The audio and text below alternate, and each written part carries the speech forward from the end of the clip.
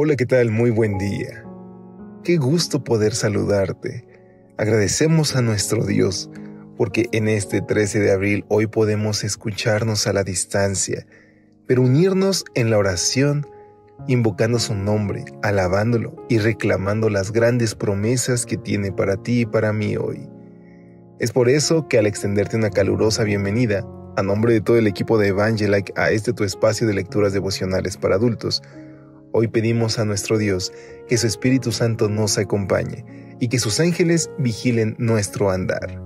Y es así que te pido que me acompañes a nuestra reflexión que lleva como título, Su palabra corre a toda prisa. Nuestra base bíblica la encontramos en Salmo 147, versículo 15. La versión Dios habla hoy nos dice de la siguiente manera. Él envía su palabra a la tierra y su palabra corre a toda prisa. Mientras viajábamos de Miami a la Universidad de la Florida, en Gainesville, mi sobrino Jeffrey y yo decidimos parar en una de las áreas de descanso que se encuentran en la ruta, nos cuenta el autor. Diez minutos después de haber retomado el viaje, Jeffrey recibió una llamada y al terminar la conversación me dijo, Tío, oiga lo que acaba de pasar. Cuando estábamos en el área de descanso vi un automóvil que me gustó, un Kia Stinger. Así que busqué en Google más detalles sobre el vehículo y adivine qué, acabo de recibir una llamada de una representante de Kia para venderme uno. Me asombró la habilidad de Google para pasarle tan velozmente la información a Kia. Y también fue impactante la rapidez con la que Kia contactó a mi sobrino.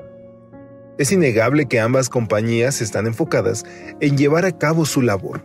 Están preparadas para capitalizar toda oportunidad que pueda engrosar su negocio. El Señor espera con anhelante expectación que cada uno de nosotros pueda emular las virtudes de esas empresas. ¿En qué? En esto. Estén siempre listos para salir a anunciar el mensaje de la paz. La Biblia del peregrino habla de la prontitud para el Evangelio de la Paz. La palabra griega etoimasía encierra la idea de preparación pronta, de estar listos, dispuestos para la acción.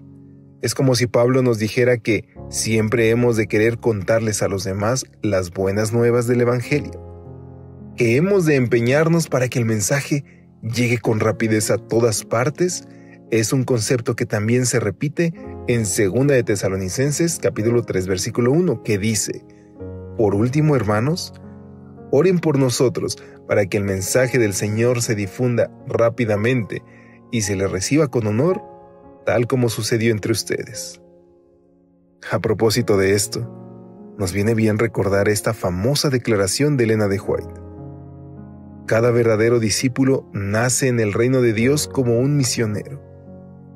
El que bebe del agua viva llega a ser una fuente de vida.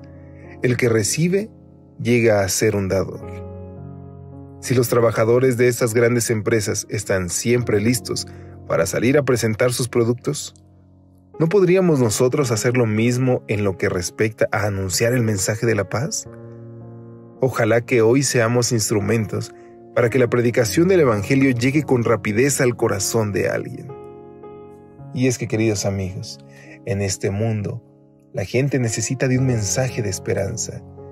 Y no hay mayor esperanza que la del retorno de nuestro Señor, para llevarnos a un lugar donde ya no habrá más muerte, dolor, llanto ni tristeza.